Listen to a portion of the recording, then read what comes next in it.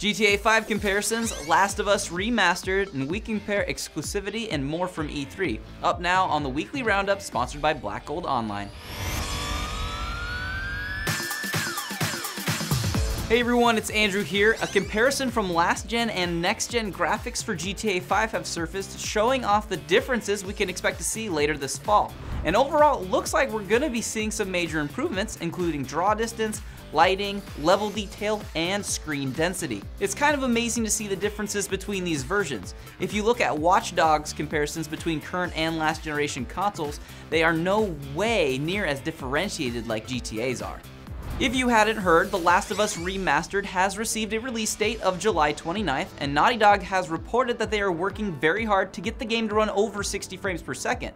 They also reported that they are fixing any performance bugs hoping to optimize for the ultimate Last of Us experience. Will you be picking up the remastered edition? Let me know in the comments.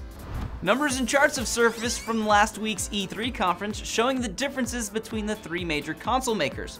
Microsoft showed off 39 games during their conference, Sony 42, and Nintendo with 12.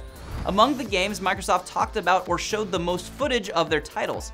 Meanwhile, 50% of the games Sony showed were shooters, a bit different from what we're used to seeing from Sony. Nintendo showed 100% exclusive titles, while Sony only had 36% and Microsoft with 26%. Keep in mind the last two showed almost four times the games as Nintendo though.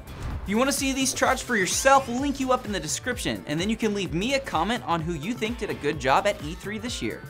This week's roundup is brought to you by Black Gold Online, which is a steampunk and fantasy-fused MMORPG from Snail Games. In a race for superiority across the continent of Montel, two factions struggle for control of a powerful crystallite energy resource known as Black Gold.